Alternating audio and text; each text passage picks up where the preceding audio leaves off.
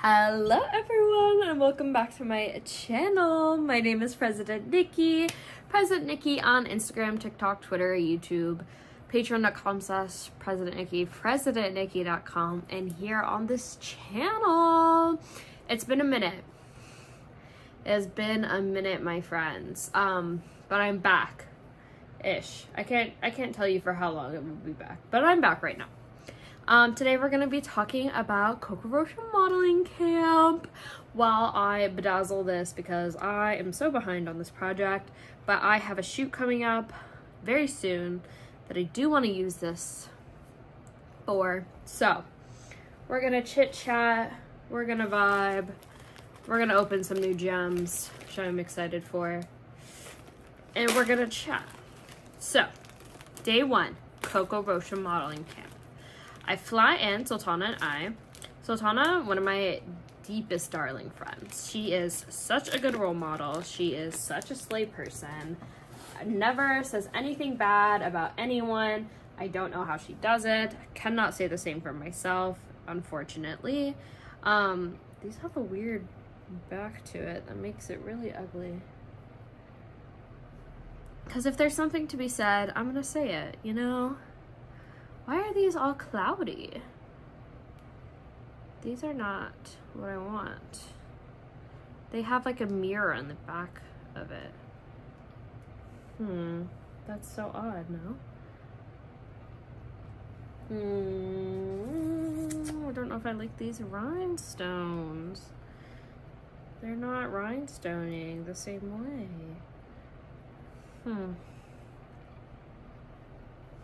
I don't want to open the other ones though. Are these rhinestoning more? Kind of. These are tiny. Mm, that's annoying. Um, I guess I'm opening this other bag. It's 570. Oh, I'm never gonna be able to get through this. Um, Sultana and I arrive, we check in, we get all of our paperwork done. They have menus for us so we get to choose food. That was super slay. Um, and then we had like a quick Q&A and then we got to talk to Coco for a little bit, which was super cool. This was actually the most time we spent with her was like in this small group. Uh, there was like three or four of us in it. And it was really nice to talk to her and like discuss what we want and what we're trying to get out of this camp. This is a perfect match, so I'm glad these are it. Um, glass flatback rhinestones. Heard. Are they all the same size? Uh, I can't tell. I think so. Okay. So, yeah. I'm gonna start from the top, I guess. Just like go around. Anyways, it was really good. And then we, I'm gonna get it started and then we can chat. I never know how these things work. Let's see.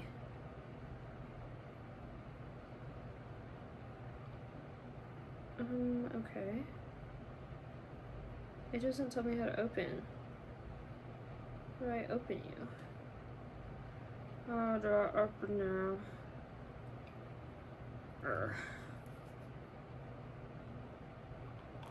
Is it like one of those you just cut?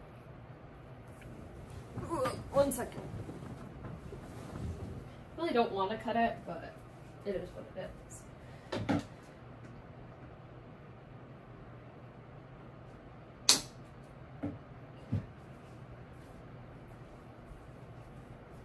I did it. Don't know if I did it right. I did it. Then we played Two Truths and a Lie, and also the theme of the night was, oh, semi-formal. So I just went down in a little romper, and then we had dinner, which was really, really good. And then the next day was pose and runway class. I loved po pose class. It was basically dance class, which as you know, I love as a dancer.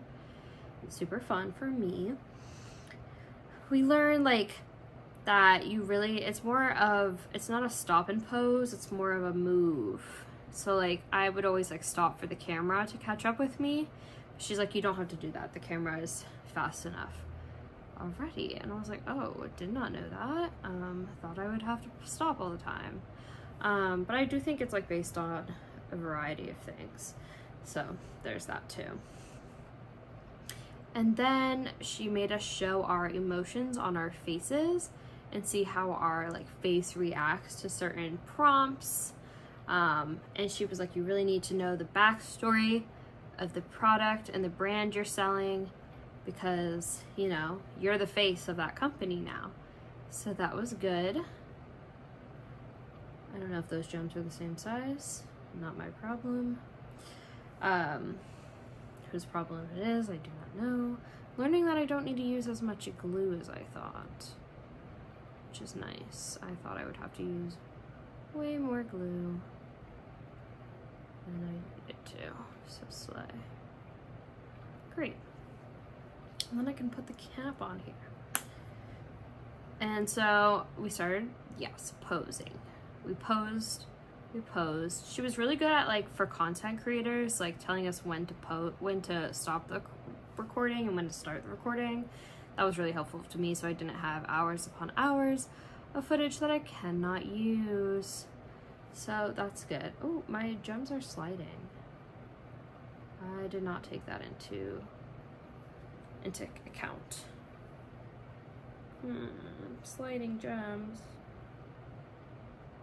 Don't do that. Maybe if I churn her, it won't slide as much. Oh, I don't like touching this glue with my fingers. Gross. Yucky. Oh, and now my finger's also in it on this side. Slay. Um, and then we took a quick break for lunch and we had sandwiches. Yeah, we had sandwiches for lunch. And then we were time for runway class. Coco has a really interesting um, form when it comes to how to walk. Um, she like really has our backs arched all the way. So if you see me walking funny, it's on purpose she actually said to me that like I had a very good walk before we like did like we did a first round and she like watched us all and she said she really liked my walk um and to not change a thing which was slay she said the only thing you need to work on is like grab like getting into it because I tend to like pose and then go she's like just walk into it walk into it and adjust how you need to and I'm like okay heard she's like you take directions very well and that's you know, the people pleaser in me was like, yeah, I take directions well, you know, you know. So that was good. I don't know how this is coming out, but it's like, whatever. They're gems. They look gemmy. And then, so runway class was fun. I learned how to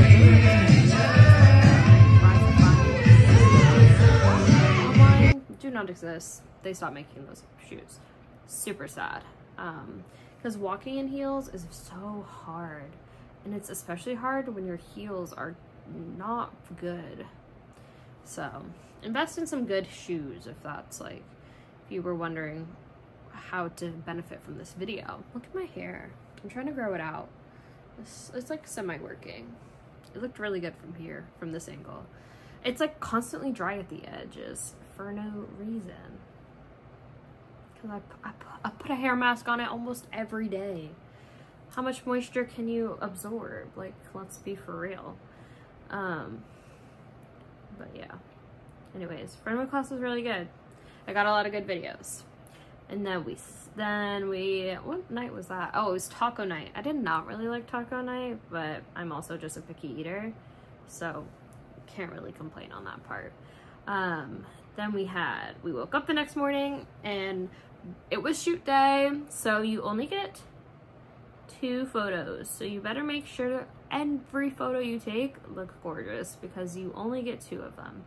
Um, and they pick. So, you know, if you're really picky like me, you kind of just gotta accept it, you know?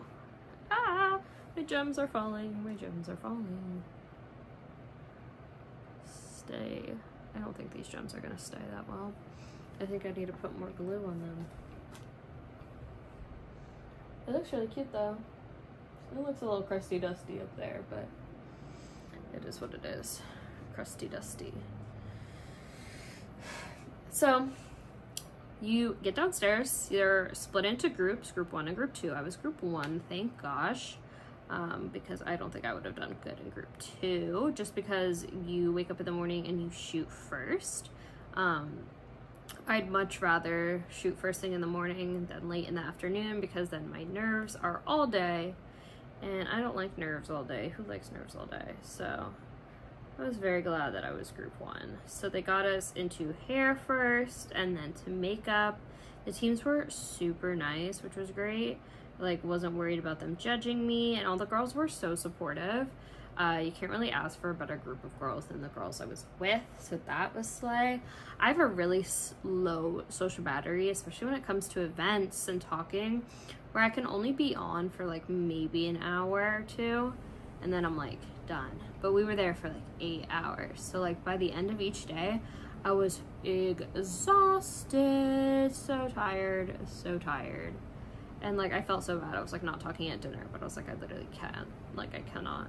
And what was also great, they also had dessert almost every night. And I love a dessert, you know? And on like the second night, there was cheesecake for dessert. You know how much I love cheesecake? Also, they did do a lot of like talk about eating disorders and like that was really nice. Um, I like recently like had a small blip of it. So it was nice to hear again like that you need to nourish your body in order to do the things you love, which I think is a very important message. Um, so yeah. And so I did hair and makeup. The first outfit I did was, well, I only did one outfit. They said you could do two, but like for my headshot, I just, it wasn't, didn't really matter. Um, they just cropped what I was wearing. So it looks like two different shoots, which is slay. Um, and then we got into shooting. You did I did like four minutes alone and then I did three minutes with Coco and she kind of guided me in posing and faces, which was really good. Um, that was a lot of one-on-one time with her. Uh, and then she like held the leaf blower and my hair was going crazy. And the photographer was so nice. She said she just wants to put me in her pocket, which is something I never hear because like you know, I'm a curvy girl, I'm a little bigger, like no one's putting me in their pocket, you know? Um, so yeah. And then Coco was like, be a little more loose with it, which is really hard for me, but I loosened up a little bit. Uh, and I really had to like not care about what my curves looked like because I knew like she didn't want that. She didn't want to see like a picture perfect like Nikki and she didn't want happy and she didn't want sexy, which is like my two main poses. So I was like, all right, time to give something else. And when I try to give something else, it usually gives like that face, which I don't love. Um, but I don't really know how to make a lot of like calm faces. Um, just like resting faces. Like, doesn't really look good. So I tried. If you want to see those pictures, they are up on my Instagram. I'm still glad I took them. Oh my gosh, this one's falling. Obviously, I'm still glad I took them. Um, the uh, big picture, the full body picture is definitely not the one I would have chosen for myself. But I know that's part of the progress. Like, it's part of the process that you have to see yourself in a beauty that someone else chooses because most of us like choose our own photos. Um, so that was a good like practice to kind of like be less picky and see what others see in you and not just yourself. So that was good. Learned that. And then we went to social media class where they discussed everything about socials and like how to post and talk about agencies which super crazy. They were like you should be talking to your agent all the time having open conversations with them chit chatting and they were all talking about like how much they love their agents. And then um, so i emailed my agent. I was like hey like do you think there's anything i'm missing from my book? Like I want to get booked more, anything I should add to my portfolio. And she actually was like, actually, you're officially dropped from Dorothy Combs Models. So I went, okay, thank you. So I am now agency list. Um, I have no agency. I'm by myself again, which kind of sucks. But what was helpful is that I got all these new tips from Coco.